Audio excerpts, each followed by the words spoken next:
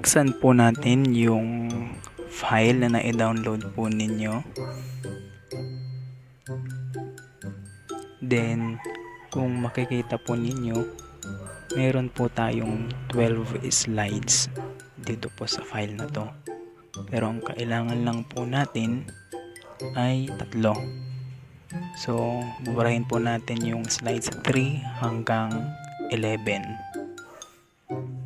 So, click nyo lang po yung 3 hanggang 11. Yan. Then, delete. Kung mapapansin po ninyo, blanco po yung last. Yan po yung template po kasi natin. So, gagawin po natin, Shift D para ma-duplicate. Ayan, tapos balik po kayo dun sa 3. Pagkatapos, mag-isip po kayo ng salita. Sa halimbawa, stay. Apat po na letter yun. So, iselect po natin yung apat na box.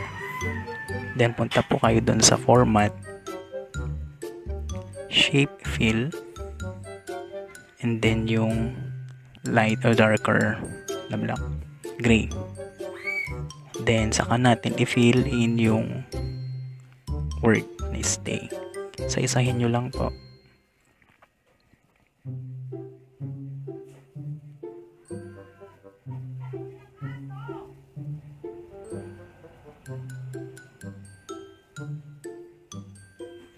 Yan. Stay. Pagkatapos po, select nyo po yung apat na letters. Yan. And then, saka tayo pumunta doon sa animation. Kung makikita po ninyo, meron siyang animation. Ang gagawin natin, add animation lang. Fade. Then, select trigger. One click. And then, hanapin nyo po yung reveal button. Yun. So, click nyo lang.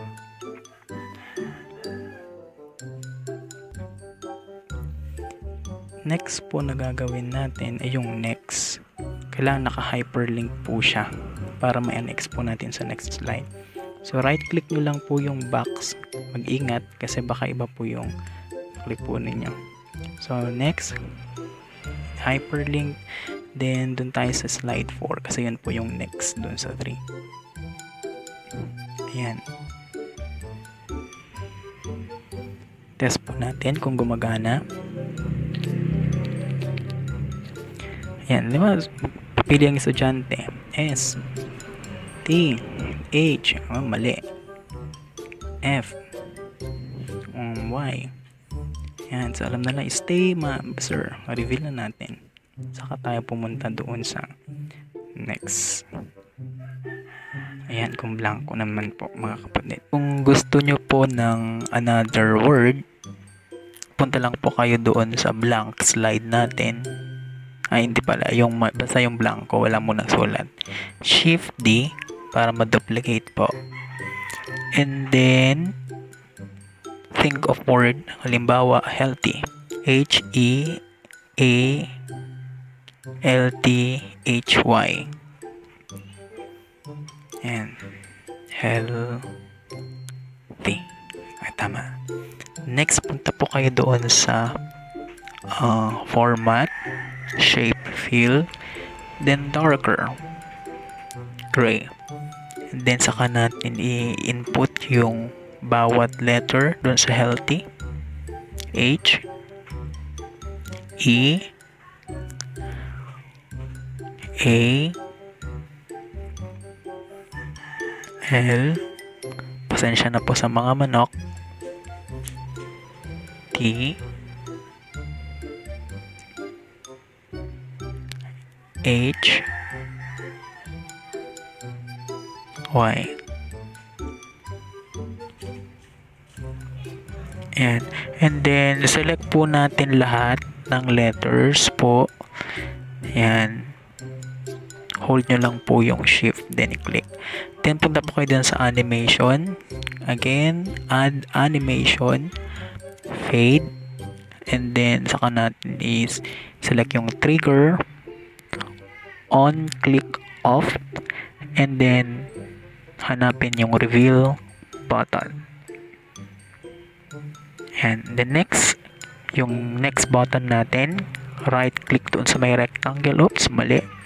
Dapat doon sa rectangle mismo yan. Then hyperlink, right click nyo, hyperlink, and then susunod doon sa 4 is of course slide 5. Ayan, okay. Ayan. So, meron tayong dalawa. Ay, punta po kayo dun sa second slide. Right click nyo po yung proceed.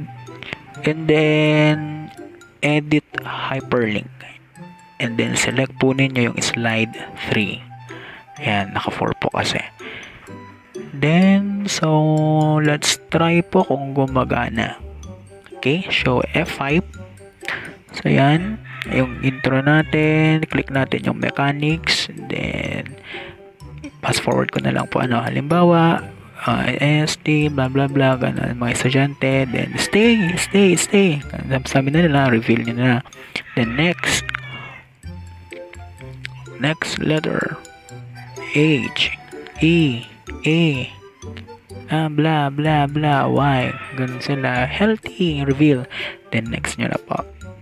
So, then blanco. Kung gusto niyo po ng marami, marami pang words, so gawin nyo lang po ng paulit-ulit po yan. So, yun lamang po. Thank you po sa pakikinig. God bless.